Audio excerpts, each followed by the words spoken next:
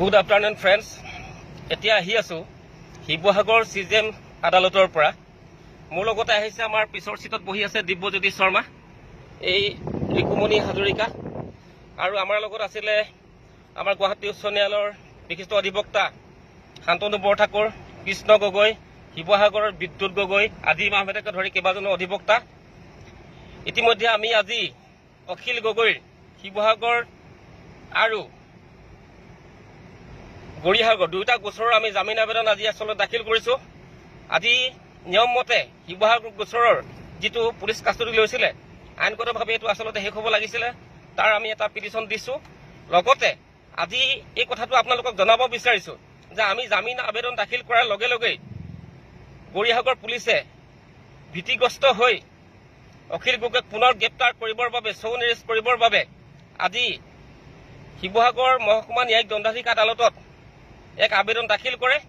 কিন্তু মান্যবৰ মহকুমা ন্যায়িক দণ্ডাধীশ শিৱসাগৰ আদালতে তেওঁলোকক চৌ নিৰেষ্টৰ কাৰণে পাৰ্মিশ্যন নিদিলে। তাৰ পিছতে গৰিসাগৰ পুলিচে অখিল গগৈক শিৱসাগৰ থানাতে জেৰা কৰিবৰ বাবে পুনৰ অনুমতি বিচাৰে যদিও সেইখন আবেদনো তেওঁলোকে নাকচ কৰে। গতিকে এইটো আজি আমাৰ কাৰণে ভাল খবৰ যে গৌৰীসাগৰ পুলিচে তেওঁলোকে নিজৰ জিম্মাত অখিল গগৈক ল'ব নোৱাৰিলে। আনকি শিৱসাগৰ থানাত গৈ তেওঁলোকে যি জেৰা কৰিবলৈ বিচাৰিছিলে এইটো আবেদন তেওঁলোকে নুশুনিলে।